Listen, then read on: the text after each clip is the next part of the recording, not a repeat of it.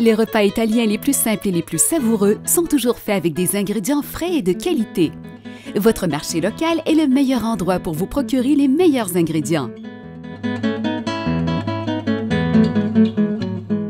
Je m'appelle Shanti Accardi et lorsque j'invite mes amis et ma famille, qu'il s'agisse d'un souper informel ou d'une grande réception, j'aime bien les impressionner avec des plats italiens classiques mais simples qui sont faits avec de la mozzarella fraîche.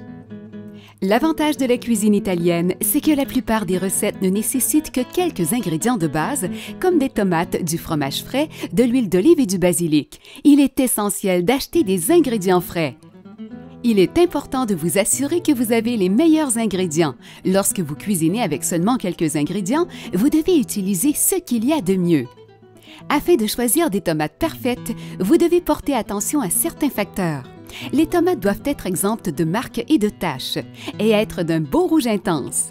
Les tomates qui sont vertes, lorsqu'elles sont cueillies, mûrissent durant le transport et leur saveur est souvent fade. Il est donc préférable d'acheter des tomates de votre marché local ou des tomates mûries sur la vigne. Elles seront plus savoureuses. Une bonne tomate est suffisamment ferme pour résister à la pression, mais pas trop. Elle doit quand même réagir lorsque vous la touchez.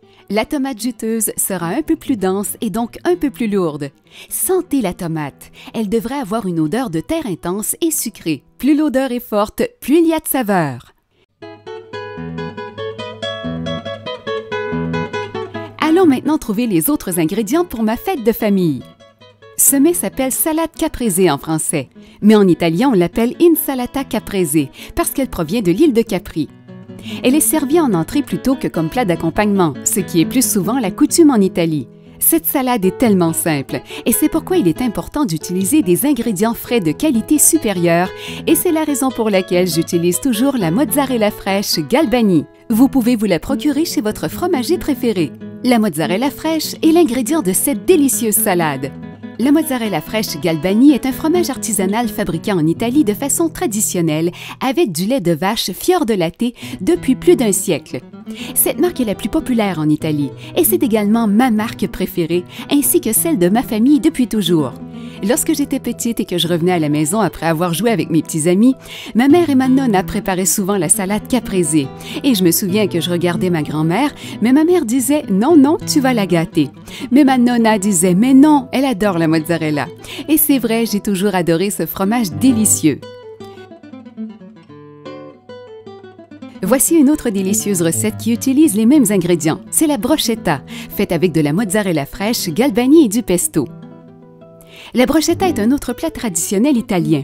Lorsque les mères italiennes avaient des restes de pain à la fin de la journée, elles gardaient les croûtes et les morceaux et préparaient une brochetta. Elles garnissaient le pain d'ail d'huile d'olive et le faisaient rôtir.